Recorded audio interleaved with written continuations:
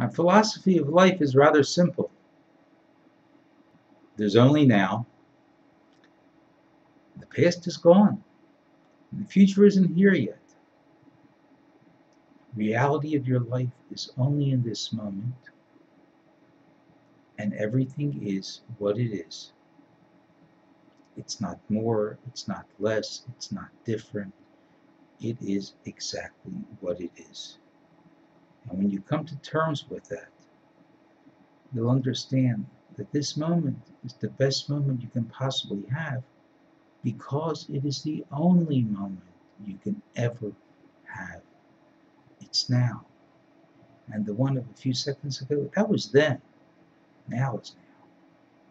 If you can appreciate everything in your life that you have now, you will be a contented person. Exactly what do you really need for your existence now? Are you hungry?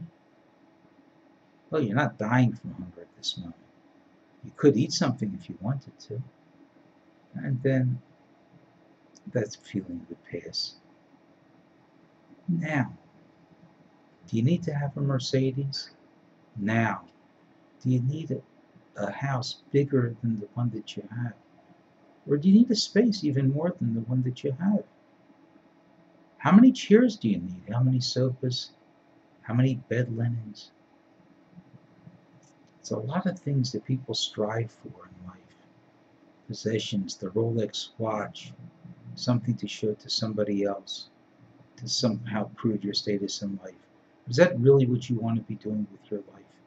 Or do you want your life to be about you and your purpose and using your time in a productive way, not just for yourself, but also to help others? I think that would be a life well fulfilled.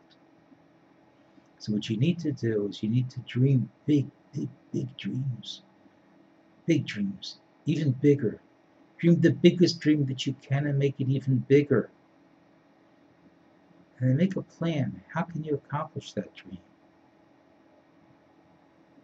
Start on that road. Make plans. But then just make the plans. Actually take those steps to start to do it. And your whole life will change just by pursuing the dream that you really want for your life.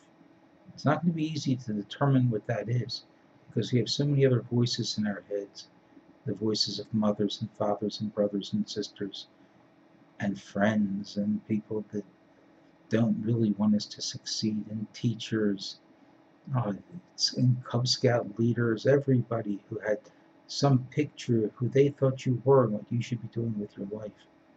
But you need to take the time to arrive at what you want to do now. Not what you wanted to do when you were 8 years old or 9 years old or 23, 35, 87. Doesn't matter what the age was.